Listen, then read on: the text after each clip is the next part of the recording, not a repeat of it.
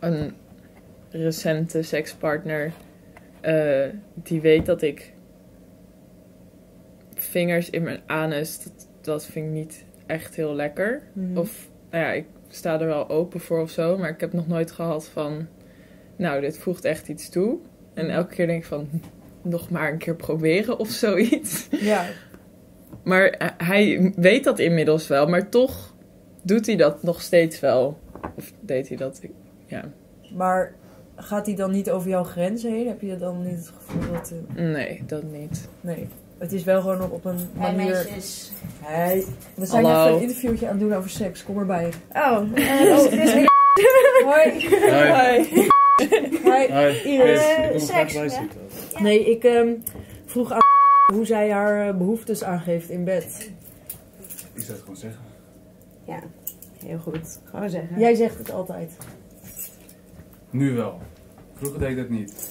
Maar ik ben nu wel op een punt gekomen dat ik eigenlijk zoiets heb zo van... Klinkt heel raar om te zeggen, maar Je moet er ook zelf van kunnen genieten. ja. Nou ja, maar sorry, als ik gebeft word en hij zit er gewoon een centimeter naast, dan is het toch gewoon fijn om tijdens te zeggen van hé, hey, ga even een centimeter naar links. maar hoe ja, doe jij dat? is niet, dat is Zeg niet je dat gewoon zo vind. Of een Je beetje moet- duwen. Je moet ietsje naar beneden. ik denk dat ik het zo zou zeggen.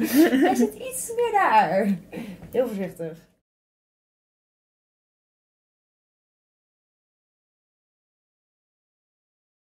And if you and if you uh, if you can get hard,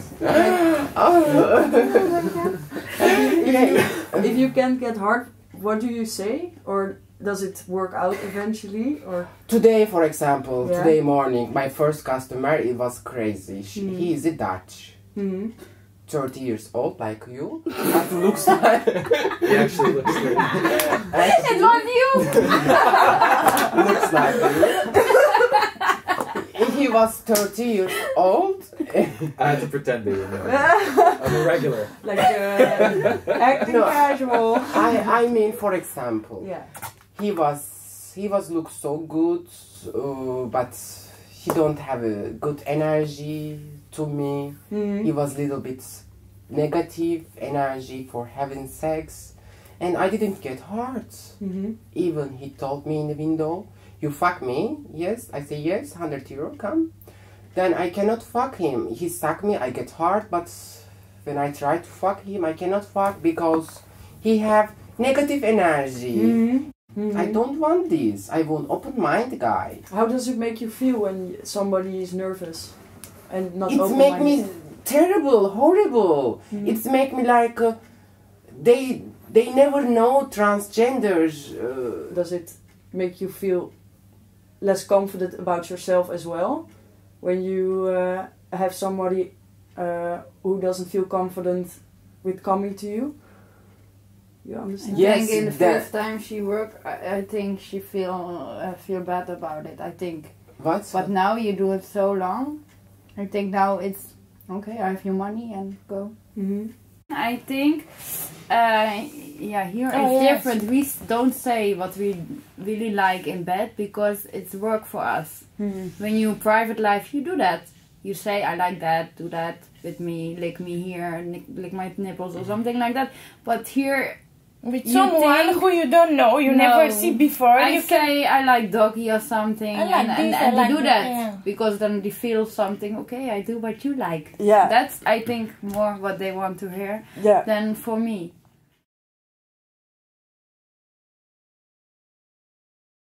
een soort verlammend gevoel van ik krijg het mijn mond niet uit. Ik wil wel iets zeggen van ik wil dit of, of ik wil dat niet, maar ik krijg het er gewoon niet uit. En dat heeft bij mij meer te maken gehad met willen pleasen en aardig en goed gevonden willen worden.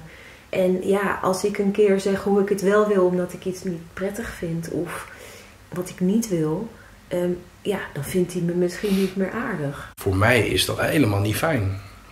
Ik heb liever gewoon van, joh, wat is er nou echt aan de hand? En van daaruit kijken. Als de ander zijn, zijn grenzen niet kan aangeven, dan moet ik er misschien om vragen. En da- da- daar zijn wel, eh, ja, bewustwordingsmomenten geweest. Oh, dit, dit is niet vanzelfsprekend.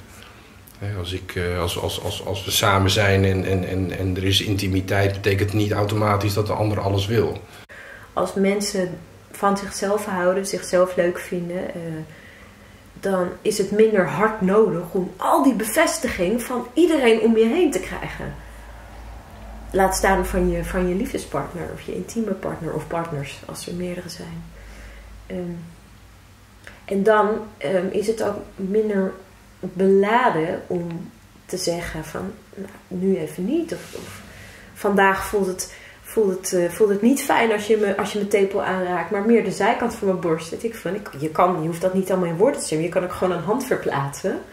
En dan kan het wat, eh, wat, wat op een wat eh, subtielere manier eh, plaatsvinden. Maar en dan ben ik niet meteen bang dat, dat, dat, dat of eventueel een ander mij vo- volkomen stom vindt en zich helemaal afgewezen voelt of mij niet meer aardig vindt.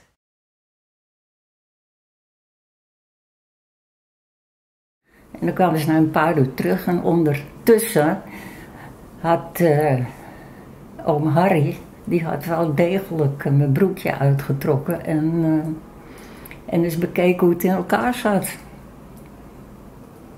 En toen zei ik het thuis, en toen zei mijn moeder, is niet waar kind, doe je zo gek, die ideeën voor jou.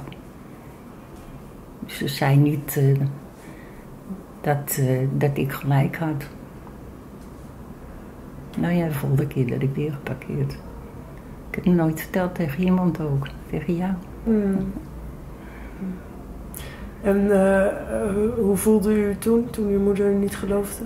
Nou, omdat ze... eh, nu denk ik, het was zo tegenstrijdig. Want aan de ene kant zei ze, je gaat niet met jongens. Nee, je doet dit niet en je doet nooit je broek uit. En dat stelde dat oom Harry het wel deed. En dan was het niet waar. Zeg maar, als u seks had met uw man, Mhm. deed hij wel eens iets wat u niet prettig vond? Nou, ik kon niet velen dat iemand aan mijn borst zat. Ook mijn man niet. Waarschijnlijk door die rottige oma, oma Harry nog steeds. Dat heb ik wel, ik heb er wel iets van, eh, van meegekregen. Wel leven lang. Ja. Als uw man dan aan uw borst wilde zitten en eh, u vond dat niet fijn, Heb ik dat gezegd? Heeft het gelaten? Ja. hoe reageerde hij daarop? Nou, nou, daar kon hij wel in komen. Hij heeft misschien gedacht, het gaat wel over. Maar dat neem je in een, eh, een mensenleeftijd mee. Misschien kom ik hem later tegen, straks. Dan pak ik hem nog. Wat zou u tegen willen zeggen?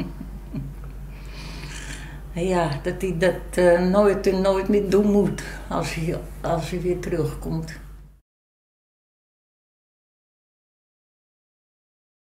Kijk, ik eh, eh, identificeer me dan bijvoorbeeld nu als, als asexueel. En eh, ik denk niet dat het heel erg gaat veranderen hoor. Maar stel je voor dat ik het over een paar maanden, of helemaal inderdaad de wat jongere mensen, dat je dan over een paar maanden toch he- iets hebt van ja, maar seks wil ik wel proberen. Dan Ja, moet je daarop- bent net een relatie ingestapt met iemand die er ook is van... hé, hey, ik wil geen seks. En dan in één keer ben jij like, ah, misschien wil ik het toch. Ja. En ik vind, weet je, kijk in een relatie. Ik, sowieso moet je daarover kunnen praten. Zeker. Heel goed juist. En eh, ik denk dat het heel belangrijk is om ook eh, ja, om te realiseren dat een relatie is niet alleen de seks of de intimiteit die je daarin hebt. Het zijn ook al die andere dingen. En als je nou net niet op dat, op dat platform bijvoorbeeld niet helemaal 100% past, ja, weet je, dat is dan ook gewoon een keuze die je zelf moet maken van ga je dit heel erg vinden of ga je hier gewoon eh, niet heel veel aandacht aan besteden en al die andere dingen waar je wel zo goed klikt. Ja. Ehm, ja, hoe belangrijk vind jij dat eigenlijk?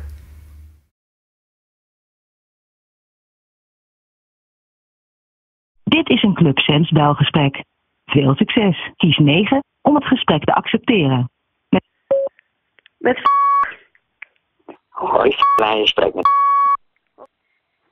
Mijn seksuele fantasie is dat ik van iemand een suikeroom mag worden voor dingen doen en dan eventueel in natura terugbetaald te worden. Mhm. Oké. Ben je verbaasd? Nee hoor, ik ben niet verbaasd. Fantasie is gewoon een fantasie, toch? Dat is toch goed? Dat klopt. Ja. Vind jij het bijvoorbeeld spannend om jouw gedragen slip te verkopen, zodat ik jou kan ruiken? Ehm, nee, ja, nee, dat doe ik niet. Oké, het was een vraag. En vragen staat vrij. Ja, precies. Je mag altijd, altijd vragen. Oké. Heb jij er ooit wel eens aan gedacht om een man bijvoorbeeld af te trekken voor geld? Ehm, nee, ook niet. En zou je het durven? Nee, nee, dat zou ik, zou ik niet doen. Oké. Het was gewoon een vraag. Ja, dat is goed.